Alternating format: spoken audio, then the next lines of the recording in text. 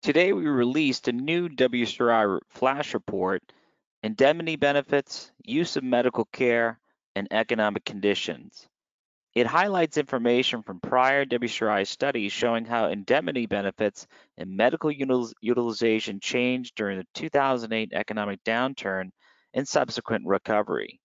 It also presents multiple measures describing changes in the labor market that are likely to shape trends in workers' compensation payments for injuries in 2020 and 2021.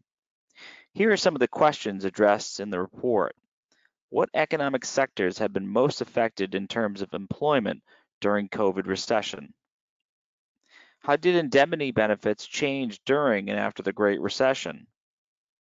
What lessons in terms of indemnity benefits and medical costs can be drawn from the Great Recession for the sectors with the largest drops in employment?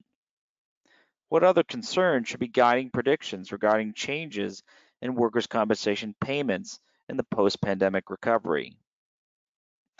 We hope you found this video helpful and will download the report.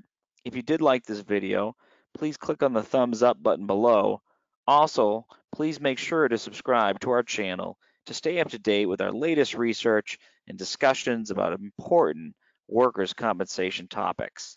Thanks for watching.